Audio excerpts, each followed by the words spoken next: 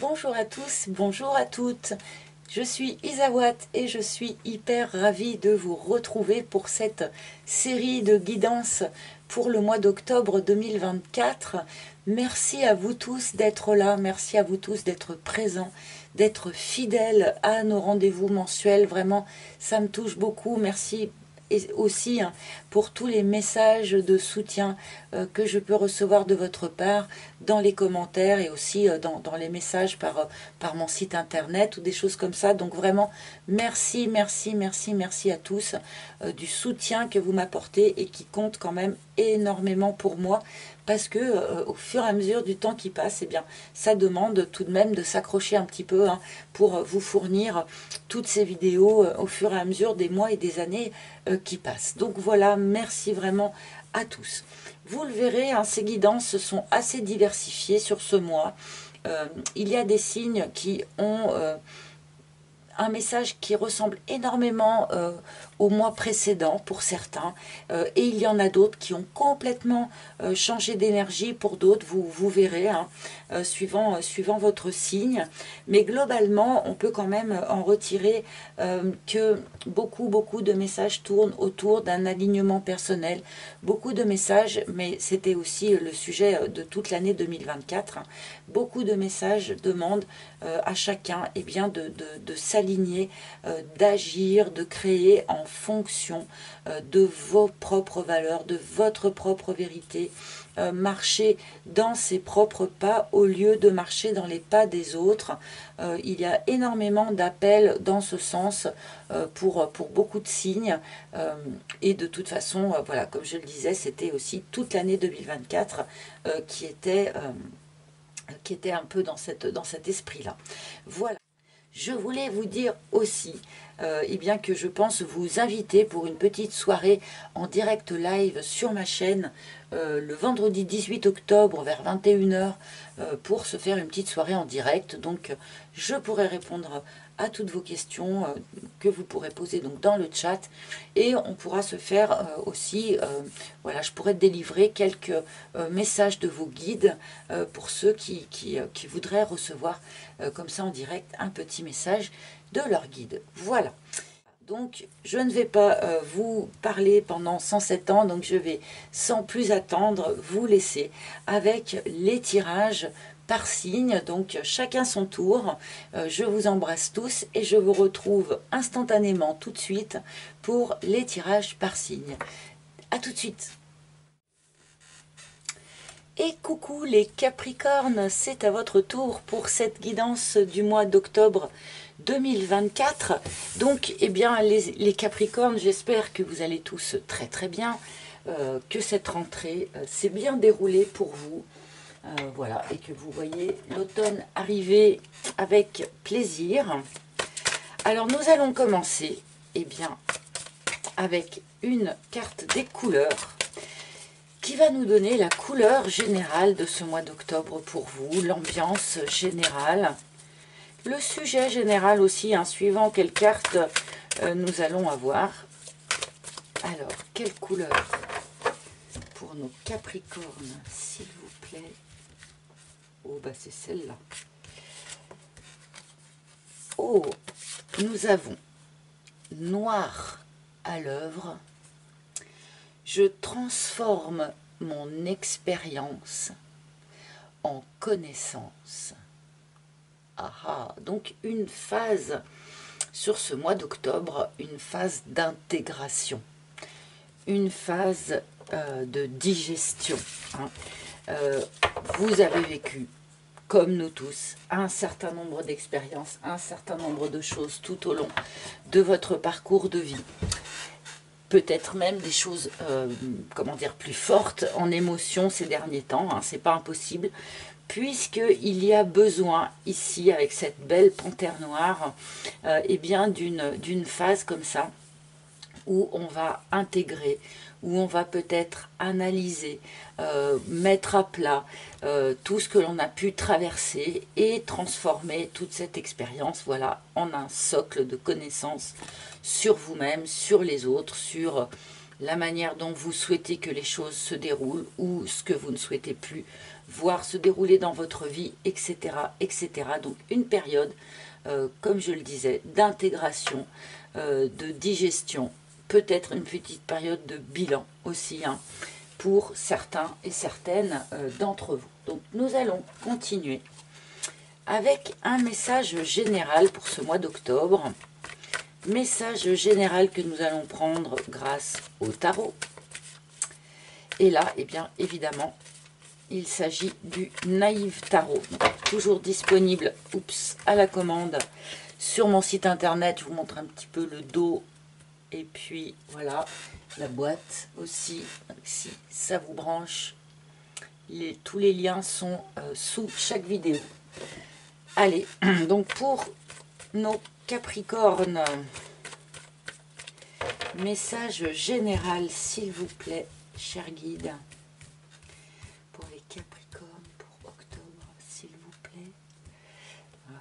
Pour les Capricornes, octobre, hein, s'il vous plaît.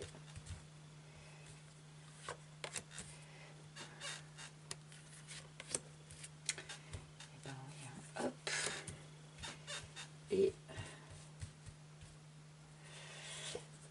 donc voilà un premier petit tableau pour vous les Capricornes. Pour ce message général, je regarde, je m'assure que vous voyez bien ça m'a l'air pas trop mal. Et c'est parti. Ah, nous commençons par le 5 de coupe. En plein centre de votre message général, le cœur du sujet pour euh, les Capricornes, pour un certain nombre d'entre vous en tout cas, euh, eh bien c'est la fin d'un deuil. Le 5 de coupe, hein, c'est un deuil, c'est euh, laisser partir ce qui doit partir, alors évidemment, hein, ça peut être un, véritable deuil qui aurait pu vous frapper euh, récemment, euh, mais ça peut être aussi bien sûr euh, un deuil, voilà, le deuil d'une situation personnelle, d'un travail, d'une relation, d'une amitié, d'un couple, voilà, peu importe en fait, hein, puisque nous sommes ici quand même dans le message général, donc ce 5 de coupe en plein centre, hein, ça augure quand même d'une période où il y a besoin justement euh, d'un moment comme ça d'intégration, un moment de digestion, comme je le disais. Je pense que peut-être certains d'entre vous ou certaines d'entre vous ont eu des pertes comme ça assez significatives euh, ces derniers temps, donc de quelques, euh, quelques pertes de quelques pertes qu'il s'agisse. Donc c'est un petit peu euh, ce qui va vous euh, occuper sur ce mois d'octobre. Euh, laisser définitivement quelque chose partir, ou quelqu'un partir, ou une situation, voilà, se, se terminer. encore une fois, il ne s'agit pas, comment dire, d'avoir mal ou l'univers ne vous envoie pas des expériences comme ça pour vous blesser ou pour vous faire du mal, mais euh, pour au contraire augmenter votre seuil de connaissance. Et on rejoint bien sûr cette carte ici. Donc il y a vraiment euh, euh, pour vous sur ce mois d'octobre ce besoin de se poser, ce besoin de digérer ce que l'on a vécu, ce besoin d'intégrer ce que ça a pu vous apprendre sur vous-même, sur les autres. Je ne vais pas me répéter, mais voilà. On est dans cette énergie-là. Donc qu'est-ce qui va vous aider? Waouh Roi de denier. Alors déjà, ce qui vous aide, c'est que vous n'avez pas euh, de difficulté sur, ce, sur ces mois. Euh, aucune difficulté matérielle. Hein. Alors, évidemment, on ne peut pas avoir des problèmes de partout en même temps. Heureusement hein, euh, que tout ne part pas à volo en même temps. Donc là, vous avez un deuil à, à, terminer, à achever d'une certaine façon. mais heureusement, vous êtes toutes à cette, euh, comment dire, à cette introspection-là, puisque avec ce roi de denier en énergie euh, positive, eh bien, on nous montre que au moins vous n'avez pas de soucis financiers, vous n'avez pas de soucis matériels. Donc, vous pouvez vraiment être tout à votre intégration de leçons ici. Hein. Roi de denier, bon, on pourrait avoir une très très bonne nouvelle financière hein, pour un certain nombre d'entre vous, euh, ou le soutien de quelqu'un qui est très très très euh, aisé. Mais ce roi de denier, bien sûr, il est, comment dire, il, fait appel à quelque chose de très matériel. Mais le roi de denier, c'est aussi quelqu'un qui est un visionnaire. C'est quelqu'un euh, qui calcule sa trajectoire, mais pas pour euh, deux ans, pas pour euh, cinq ans, mais pour plusieurs générations parfois. Hein. Donc, vous avez cette faculté-là sur ce mois d'octobre, vous avez cette capacité qui va sans doute vous aider. Vous pouvez vous projeter dans quelque chose de constructif à long terme. Euh, vous êtes visionnaire euh, sur ce mois d'octobre.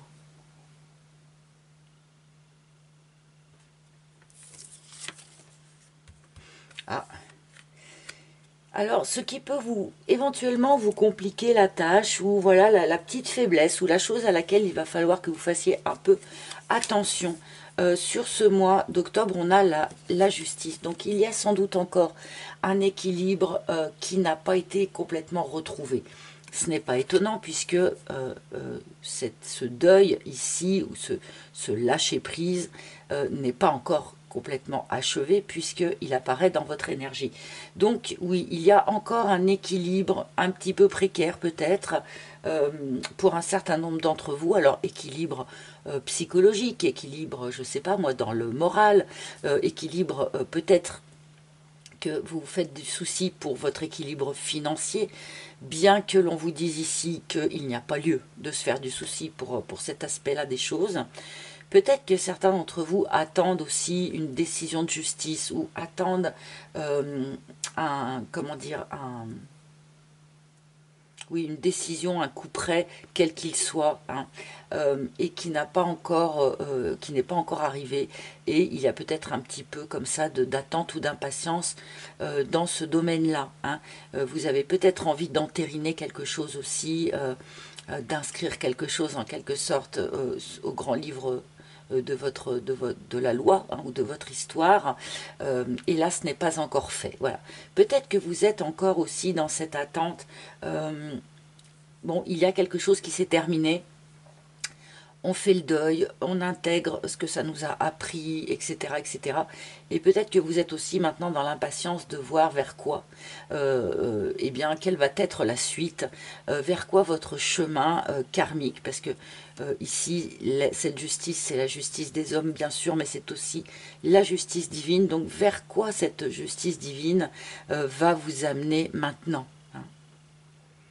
vous avez sans doute envie de soulever ce voile-là et vous n'êtes peut-être pas encore vraiment en vision voilà, de, ce vers quoi euh, eh bien, le karma, la grande roue du karma va vous mener maintenant. Parce que vous, si vous êtes dans cette posture-là, vous avez envie de vous projeter dans l'avenir. Vous avez envie euh, voilà, de, commencer à prévoir, d'anticiper. Euh, vous êtes ce visionnaire. Et du coup, si les choses euh, ne se matérialisent pas encore, eh bien peut-être qu'il peut y avoir comme ça un petit peu d'impatience. Ah, 10 de bâton. Alors attention les amis, un 10 de bâton en résultante. Bon bah c'est vrai que c'est la rentrée. Euh, on se remet au travail, euh, c'est l'automne, on peut plus facilement être fatigué. Euh, oui, c'est l'automne, alors j'avais oublié hein, bien sûr de vous faire remarquer que cette, eh bien que, que, cette saison est présente aussi hein, dans cette énergie ici du 5 de coupe. Donc oui, vous êtes bien dans le bon temps dans cet automne, mais attention du coup, euh, on est plus facilement fatigué en automne. Euh, avec un 10 de bâton ici en résultante, attention de ne pas euh, trop charger la mule, attention de ne pas trop tirer sur la corde, que ce soit du point de vue de votre activité pro ou même peut-être dans toute cette euh, intégration d'expérience que l'on vous demande. Euh, ne vous brusquez pas, ne vous, en mettez pas trop sur le dos en même temps. Peut-être que vous pouvez traiter une chose et après une autre et après une autre tranquillement, de manière à ne pas euh, trop vous retrouver dans cette énergie du 10 de bâton en sortie de mois d'octobre. Là, on peut avoir une surcharge de travail importante Et euh, voilà, on vous demande de faire un petit peu attention à vous euh, pour ne pas risquer euh, le burn-out. Et tempérance, en énergie générale. Donc on est quand même bien ici pour vous les amis dans une période de rééquilibrage. Hein. Rééquilibrage, transformation de ce qui a pu être difficile ou de ce qui a pu être douloureux à vivre, euh, eh bien transformation euh, de ces choses-là en expérience positive, en connaissance. Hein. C'est vraiment le cœur de ce mois d'octobre pour vous. Parce que tempérance nous parle aussi de ça. Tempérance, c'est aussi euh, une carte qui vient nous parler de transmutation. Transformer les choses. Alors, transformer le plomb en or, bien sûr, mais transformer nos blessures euh, ou nos expériences difficiles en force, eh bien, c'est la transmutation idéale. Et c'est bien ça que vous opérez sur ce mois d'octobre. Donc, une idée de rééquilibrage aussi, bien sûr, à nouveau, hein, avec... Euh, avec tempérance. Et bon, tempérance nous indique aussi que euh, tout ça, ça se déroule quand même dans une certaine douceur. Hein. Euh, on n'est pas euh, au fond du trou, on n'est pas malheureux. Je pense que le deuil ici, c'est quand même quelque chose sur lequel vous avez déjà beaucoup travaillé, quel que soit le sujet, encore une fois. donc une certaine douceur hein, dans tout ça qui intervient avec tempérance. Euh, et on est bien voilà, dans cette période de transformation, en quelque sorte, euh, euh, du plomb en or ou des blessures en, force. Hein. Donc voilà pour ce message général. Alors en d'autres decks, j'ai un petit 4 d'épée, donc faites attention, 10 de bâton, 4 d'épée les amis, voilà, tirez pas trop trop sur la corde. Hein. Prenez soin de vous, accordez-vous le temps de repos nécessaire, euh, voilà, ne, risquez pas le burn-out euh, dès le mois d'octobre, hein, euh, ça serait dommage. Donc ça, c'était notre petit message général. Ensuite, nous allons embrayer, mes amis, sur un focus sur votre vie amoureuse, sur votre vie émotionnelle, et nous allons commencer ce focus avec un arcane majeur pour avoir l'énergie générale de votre vie amoureuse ou émotionnelle. On va peut-être élargir un petit peu, mais enfin, on va voir. Donc, quelle énergie générale en amour pour les Capricornes sur ce mois d'octobre Mes très chers guides, s'il vous plaît? Ah, nous avons l'amoureux alors, euh, eh bien, ma foi, c'est plutôt une bonne carte pour commencer à parler d'amour pour les Capricornes. Voici l'amoureux euh, qui se propose. Eh bien oui, peut-être qu'il euh, y a vraiment de l'amour pour les Capricornes sur ce mois d'octobre. évidemment, quand je dis ça, je pense particulièrement à ceux qui sont célibataires hein, et qui sont voilà affamés peut-être de retrouver de l'amour ou, voilà quelqu'un à qui tenir la main. On va voir la suite du tirage, bien sûr. Mais avec l'amoureux, ne l'oublions pas, eh bien, il peut y avoir aussi une, idée d'être euh, à une croisée des chemins hein, euh, et d'avoir euh, une option à choisir, une, une, voilà, une direction à choisir. on peut avoir à, choisir entre le cœur et la raison. on peut avoir à choisir entre deux personnes. Pourquoi pas On peut avoir à choisir voilà, entre oui, entre le matériel et le spirituel, par exemple, aussi. Enfin, bon, nous allons voir un petit peu euh, ce que nous dit euh, l'oracle d'Isawat au sujet de cette vie amoureuse pour vous, les Capricornes. Alors, certains vont euh, avoir, comme nous le montrent les inséparables, qui vraiment a sauté du paquet. Alors, vous savez, souvent, je ne fais pas trop cas euh, des cartes qui sautent du, paquet, mais là vraiment elle a tellement sauté que bon, je vous la montre quand même. Donc oui, il pourrait y avoir une réconciliation avec quelqu'un pour euh, certains Capricornes. Alors, donc, pour les Capricornes, s'il vous plaît, en amour, pour octobre.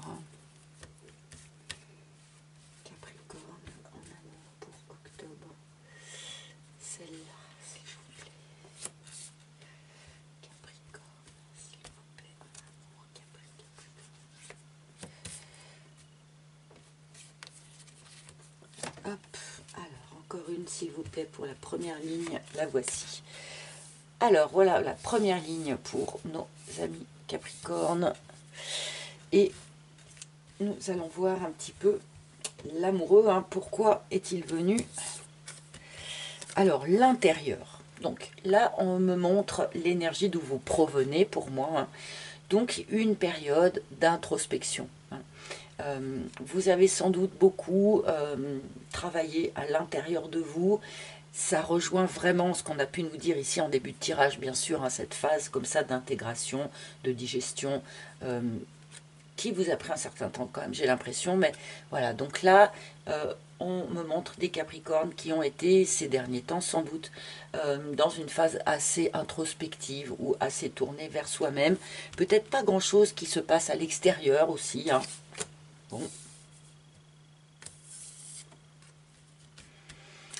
D'accord, la responsabilité. Alors c'est peut-être pour ça que ce deuil prend autant de temps, c'est peut-être pour ça qu'il y a cette grande période de, digestion, euh, parce que vous avez l'impression de porter euh, responsabilité euh, ou culpabilité même hein, de ce que vous avez pu traverser par le passé sans doute. Et j'ai bien l'impression que pour un certain nombre d'entre vous, encore aujourd'hui, voilà, vous, gardez, vous portez encore quelque part cette, cette responsabilité, cette culpabilité au fond de vous. Vous vous sentez sans doute coupable de quelque chose. Bon. Évidemment, ça ne sera pas pour tout le monde, mais... Ah, bon, merci. La joie. Alors le fait de s'être un petit peu euh, enfermé sur soi-même, le fait d'avoir un petit peu fait le dos rond comme ça euh, pour porter euh, sa, responsabilité, ça vous a probablement coupé, en tout cas pendant un certain temps, les amis, d'une certaine joie de vivre. Hein. Peut-être que c'est quelque chose avec lequel vous allez reconnecter sur ce mois d'octobre, reconnecter à la simple joie de vivre, des joies toutes simples. Hein. Il y a peut-être aussi quelque chose tout simplement sur ce mois d'octobre qui va vous mettre particulièrement en joie. Hein. Une nouvelle, euh, euh, une rencontre, pourquoi pas, euh, une annonce que quelqu'un vous fait, un moment agréable que vous passez avec quelqu'un. J'ai l'impression que, voilà, comme si la joie, en fait, venait vous euh, recherchez, là, venez vous tirer euh, de votre intérieur, venez vous tirer de cette espèce de, de, culpabilité euh, dans laquelle vous étiez peut-être un peu enfermé. La joie vient toquer et vous dire, bon allez, maintenant on revient un petit peu à la joie, on revient un petit peu à la vie, l'introspection, maintenant c'est bon. Même si, visiblement, il y a encore de l'intégration à faire, c'est pas pour ça qu'il faut rester dans cette énergie-là. Et l'escargot, oh là là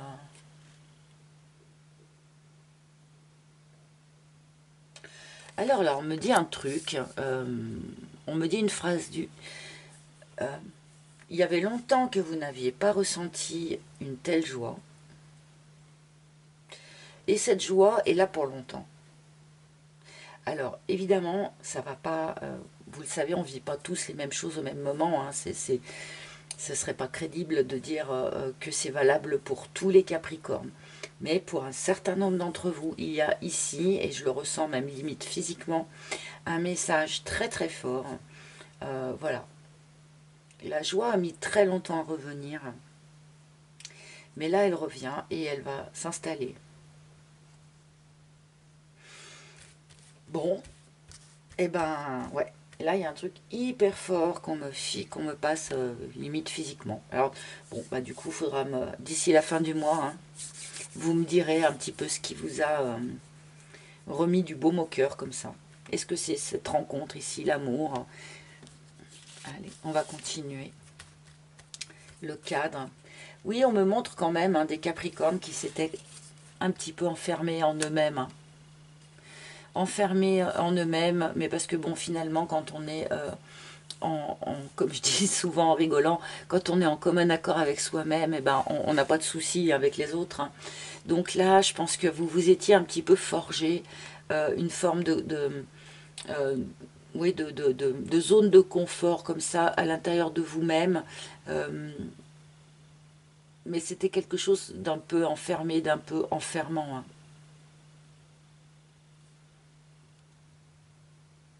Même si, à mon avis, on est quand même encore un petit peu dans cette énergie-là sur le mois d'octobre.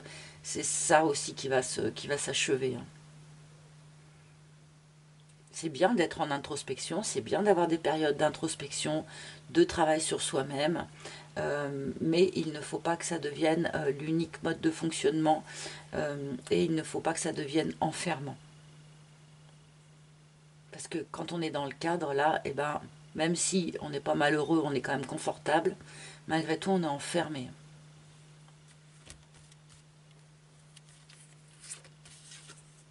le reset. Bon, ben voilà, c'est ça. Hein. Une forme de, remise à zéro. On, redémarre euh, à partir de rien. Euh, on efface le disque dur. Euh, on se déleste du coup de, d'un certain nombre d'énergies ici qui de toute façon n'étaient pas à votre avantage. Et il est question ici de repartir à zéro.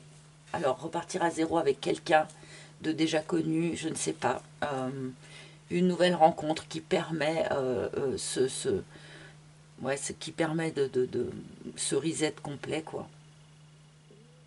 C'est pas impossible aussi. Ça pourrait être ça qui vous met en joie. Pourquoi pas? C'est pas dit, mais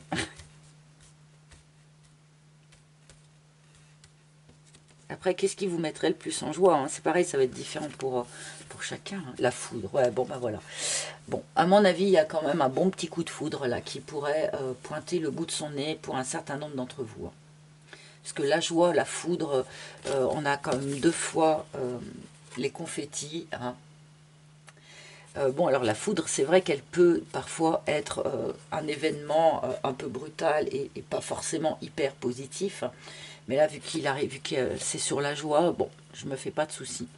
Il y a ici un événement ou une annonce ou une rencontre ou euh, voilà quelque chose qui vous met en joie, qui vous fait plaisir, qui sonne vraiment, euh, voilà. Bon, quelque chose euh, d'assez fort qui va vous tomber dessus, les amis. Mais bon, apparemment c'est pour le mieux, hein, donc on va pas se faire de soucis et la route, et qui vous permet euh, de repartir sur un autre pied. C'est ce que demande le reset aussi. Voyez, la route, c'est quasiment la même énergie que le 5 euh, euh, que vous aviez tout à l'heure en plein centre de votre tirage général. Il y a vraiment ici des Capricornes qui finissent de tourner le dos à quelque chose, de tourner le dos à une expérience, à un moment de vie, à une période de vie. Euh, vous achevez de tourner le dos à ça. Euh, c'est quelque chose qui aurait pu sans doute, euh, comment je vais dire ça, vous handicaper. C'est quelque chose qui vous a sans doute un petit peu endommagé à la base, mais dont vous êtes en train de faire en fait une force. Hein. Et là, voilà, on a cette même énergie ici. Et, ça, et vous avez mis longtemps à vraiment arriver à faire cette opération ici de lâcher prise et de, bon, bah, je vais voir ailleurs si l'herbe n'est pas plus verte, je vais commencer à euh, respirer un autre air.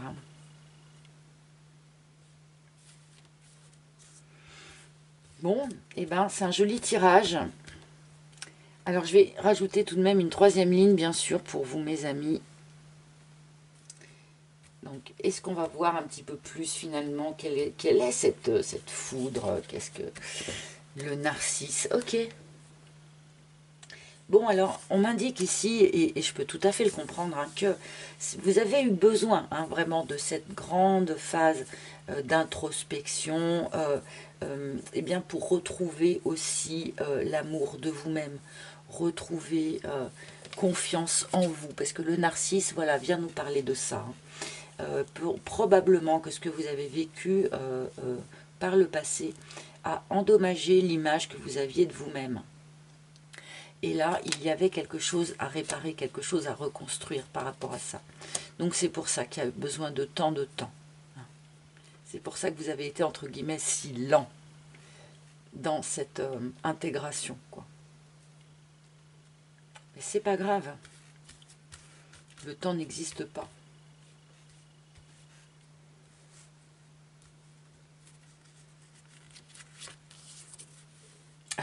La réflexion. ok. Alors, encore du mental. Hein. Bon, on, le savait puisqu'on avait tout à l'heure le 5 qui était encore en plein centre de votre jeu. Hein, mais bon. Donc, on a encore du mental, on a encore pas mal de réflexions pour vous sur ce mois d'octobre. Euh, il est quand même question de remettre les choses à zéro ici, y compris du point de vue de ce mental.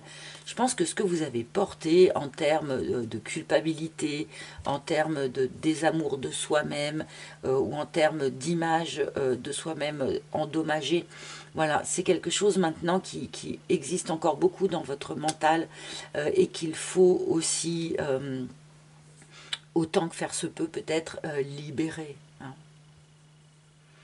Donc une période qui est encore une période de réflexion, qui est encore une période de mentalisation. Mais comme je disais, on va venir vous chercher, hein, on va venir vous chercher pour remettre de la joie dans tout ça. Mais on nous montre quand même voilà, que, les Capricornes ne sont pas complètement sortis euh, de leur petit hamster qui tourne euh, dans sa petite roue. Et je vous souhaite vraiment que ce mois d'octobre soit le mois où euh, cette, phase-là se termine vraiment. Hein.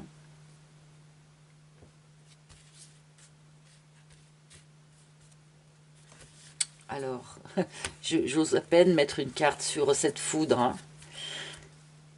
J'en mets une, ouais, bah si, je suis pas obligée d'en mettre une pour continuer le tirage. Oh, la maladie, mince.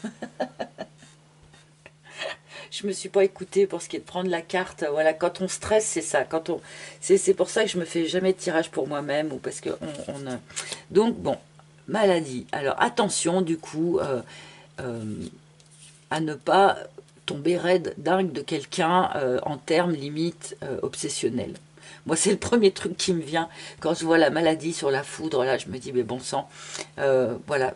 Je, ne pense pas que quelqu'un autour de vous ait véritablement un souci de santé, puisque on est quand même sur cette colonne de la joie. Donc, bon, à mon avis, il n'y a, a, pas de souci à se faire de ce point de vue-là. attention, peut-être que voilà, vous avez peut-être été privé si longtemps euh, euh, de l'attention de quelqu'un ou de la joie euh, comme ça, eh bien peut-être que ça peut être excessif du coup. je trouve ça curieux. Le gentleman. Bon, d'accord. Alors effectivement, pour moi, il y a une rencontre assez importante, probablement, qui a lieu sur ce mois d'octobre pour un certain nombre de, de Capricorne, donc c'est quelqu'un, euh, alors c'est le gentleman, mais donc ça peut être la lady aussi, hein, si vous êtes un homme, une femme. Vous arrangez ça à votre sauce, mais quelqu'un qui s'intéresse énormément à vous, quelqu'un qui est complètement sincère dans sa proposition euh, euh, relationnelle vis-à-vis -vis de vous, euh, et là, du coup, euh, est-ce que c'est votre réaction ici? Est-ce que c'est euh, attention, voilà, de ne pas complètement basculer dans quelque chose de d'obsessionnel ou ou de pas vous en rendre malade, quoi? Il pourrait y avoir un truc dans ce genre-là.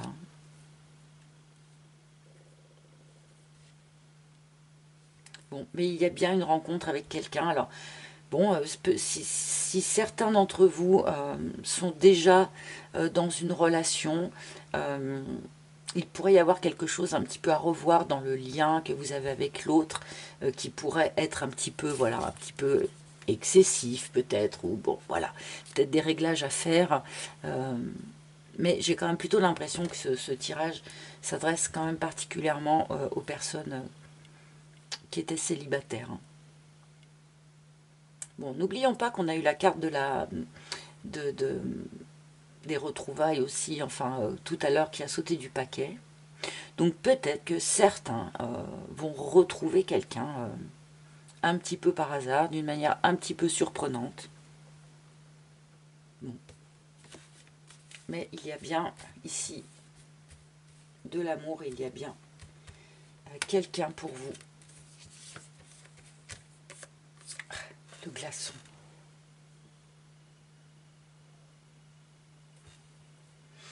Est-ce qu'on tourne le dos au glaçon hein?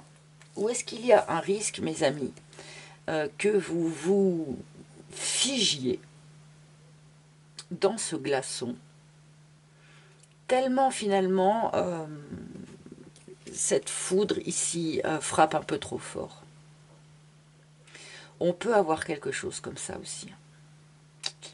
Parce qu'on me montre voilà, que les Capricornes ne sont pas complètement sortis de leur mentalisation ici.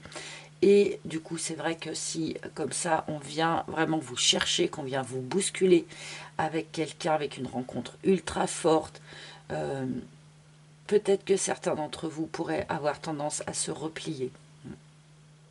Repli stratégique. Hein. Il peut y avoir de ça dans ce glaçon. Hein. Et bon, pour, pour d'autres, euh, on, tourne le dos, hein, évidemment.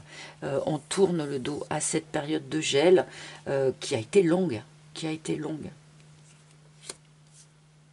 Bon, eh ben écoutez, un joli petit tirage quand même pour nos amis. alors en d'autres decks, j'ai le hibou.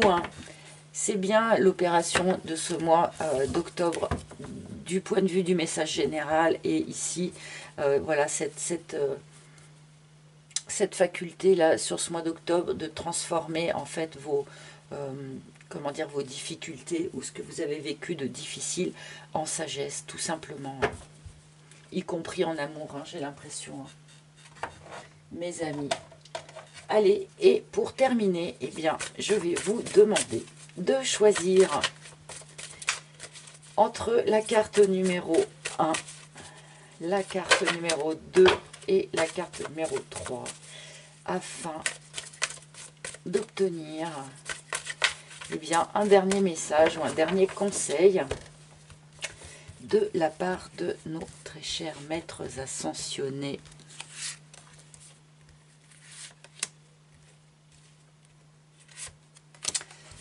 Voilà, hop. Donc,